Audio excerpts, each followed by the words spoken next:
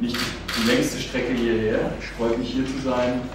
Ähm, wir werden, wie die beiden Kolleginnen das schon erwähnt haben, uns natürlich mit Zukunftsthemen hier beschäftigen. Themen, die auch für uns Grüne vielleicht nicht unbedingt äh, äh, so ungefährlich sind in dem Zusammenhang, dass wir auch unsere eigenen Widersprüche da klären müssen und klären wollen, natürlich. Ähm, soll es auch darum gehen. Ähm, das ist zum einen, wollen wir uns darum kümmern, um die Demografie, wie schon angemerkt, und das andere ist die Zukunft der Energiepolitik. Und wenn ich mit der Demografie beginnen kann, wenn man sich in einer Stadt wie Coburg befindet, wo prognostiziert wird, dass bis 2025 die Bevölkerung um 6,2 Prozent sinken soll und sich 30 Prozent davon dann in dieser Zeit äh, über 65 Jahre alt sein wird, äh, dann ist das äh, ein Punkt, der statistisch äh, nicht, nicht unwichtig ist. Und das zeigt auch, dass wir uns, ähm, wenn wir in Oberfranken sind, uns damit beschäftigen müssen. Und deswegen wollen wir auch auf dieser Klausur äh, ein Konzept entwickeln. Grüne sind Konzeptpartei und ähm, von daher ähm, haben wir uns vorgenommen, hier Wege zu beschreiben, Wege zu skizzieren, wie man mit dem demografischen Wandel umgehen kann. Ähm, das eine ist, dass wir uns konkret hier vor Ort bei der Coburg natürlich ansehen, wie reagiert ein Unternehmen, das in der Versicherungsbranche aktiv ist, äh, darauf, dass ähm, eben nicht mehr so viele junge Leute dann da sind. Äh, wie geht man da mit dem Nachwuchs, mit der Nachwuchsgewinnung um? Äh, wie bringt man seine, äh, seine Beschäftigten dazu, sich fortzubilden? Ähm, wie schaut man in der Zukunft die Attraktivität der Arbeitsplätze an? Also da wird sich der heutige Tag, das wird ja heute gleich beginnen, wir werden gleich zur Coburg gehen, ähm, wird sich drum drehen, wie reagiert ein Unternehmen. Natürlich wollen wir auch wissen, wie wird versicherungstechnisch denn darauf eingegangen, äh, wenn die Bevölkerung äh, älter wird, wird es da Änderungen in der Geschäftspolitik geben. Das ist das eine. Und das andere ist natürlich, ähm, dass wir sagen, wenn Bayern insgesamt ähm, der Nordosten Bayerns an Bevölkerung verliert und Bayern insgesamt älter wird, äh, welche Anforderungen an ein Gemeinwesen gestellt werden.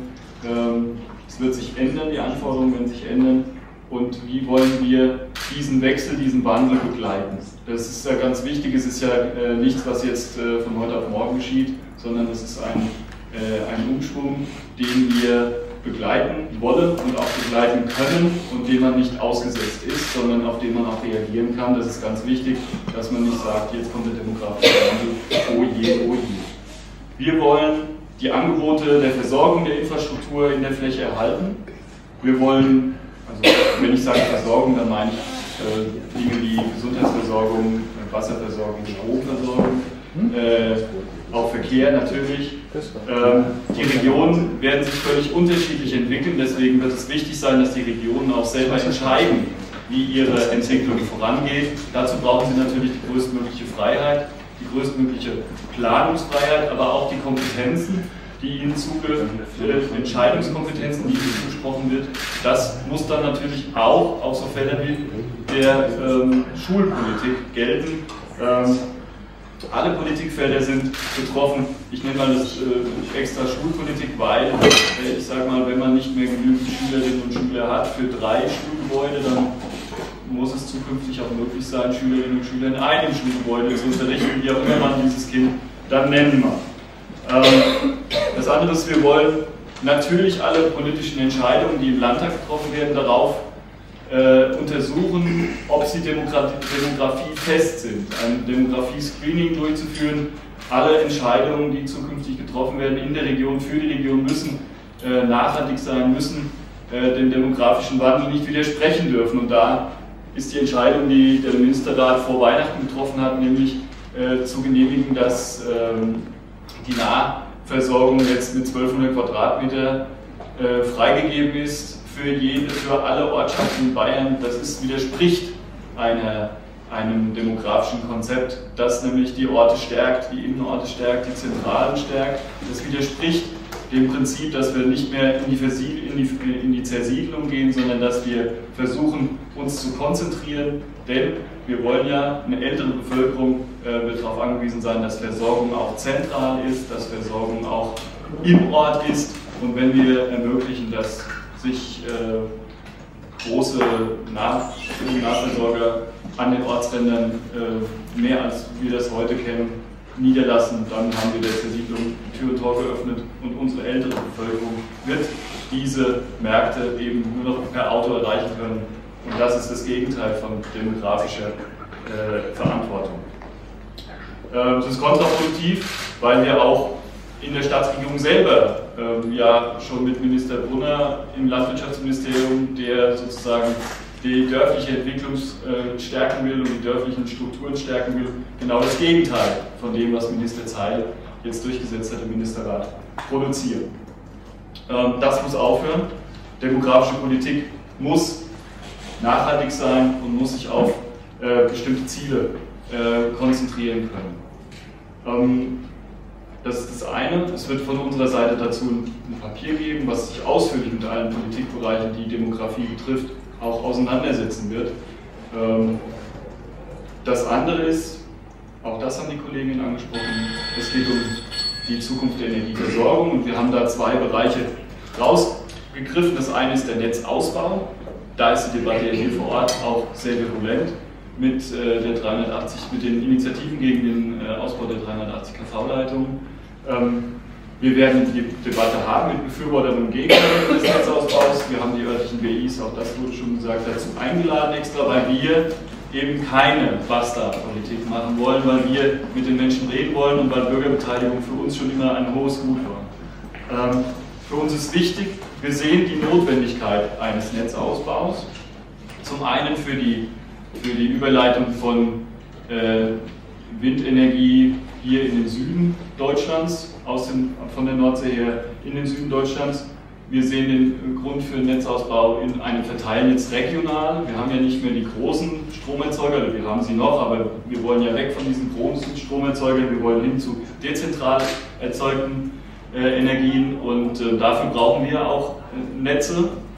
Und das Dritte ist, dass wir natürlich auch intelligente Netze haben wollen, äh, die vor Ort dafür sorgen können, dass mit Produzenten und Abnehmern eine Eigenversorgung, eine Selbstversorgung funktionieren kann. Es geht auch um das Wie, das habe ich schon gesagt. Ähm, von daher wollen wir die Debatte auf jeden Fall hier führen und nicht schon äh, mit festgefügten Meinungen in diese Debatte gehen. Das zweite ist die Energiespeicherung. Sie haben das vielleicht mitbekommen. Äh, wir haben im Moment die Debatte im Bayerischen Landtag um Speicherkapazitäten konkret Pumpspeicherkraftwerk in Riedel. Äh, natürlich müssen wir uns darüber unterhalten, auch als Grüne, wo wollen wir Pumpspeicherkraftwerke haben, aber diese Debatte wollen wir führen, anders als die Staatsregierung, die sich weigert, ein Speicherkataster, ein Pumpspeicherkataster überhaupt zu führen, die sagt, das ist nicht unsere Aufgabe. Da sagen wir, das ist keine verantwortliche Energiepolitik, wenn man sich noch nicht mal die Gedanken machen will, wo können wir uns denn in Bayern Speicherkapazitäten äh, vorstellen, denn diese sind wichtig ähm, diese sind wichtig, um Regelenergie in Zukunft zur Verfügung zu stellen. Sie wissen auch, äh, erneuerbare Energien stehen äh, nicht immer in gleicher Höhe zur Verfügung. Das schwankt sehr stark und um diese Schwankungen abfangen zu können, brauchen wir äh, Speicherkapazitäten und diese sind momentan eben noch nicht in anderen technischen Lösungen vorhanden. Wir brauchen Pumpspeicherkraftwerke und diese Debatte wollen wir auch als grüne, als grüne äh, Fraktion hier führen.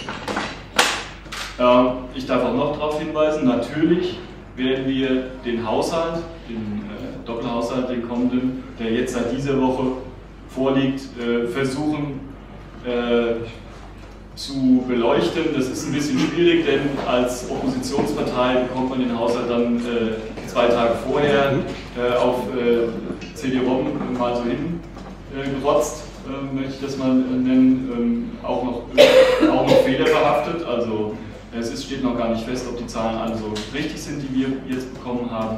Das macht es natürlich nicht einfach, aber wir wollen auf jeden Fall schon mal einen Überblick bieten und die Kritik an dem Haushalt, wie er bis jetzt vorliegt, äh, deutlich machen. Und das Zweite ist, dass wir uns auch über Schulkonzepte natürlich unterhalten. Auch die sind wichtig für die Region. Eine Schule für alle bleibt unser Ziel in Bayern als Grüne. Und von daher soll es auch darüber auf dieser Klausur gehen. Sie sehen ganz viele wichtige Themen für Bayern, für auch die Region Oberfranken. Ich bedanke mich, dass Sie in so großer Zahl äh, dabei sind und uns auch begleiten über die drei Tage hier in Oberfranken und würde mich freuen, wenn Sie auch bei allen Terminen, die presseöffentlich sind, dabei sind. Vielen Dank.